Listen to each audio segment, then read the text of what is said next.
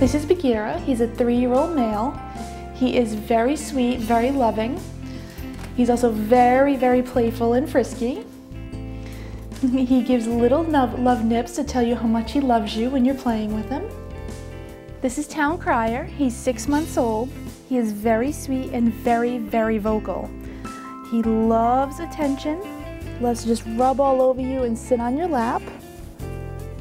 He's a very sweet and friendly boy, and you can come see him here at Forever Paws Animal Shelter.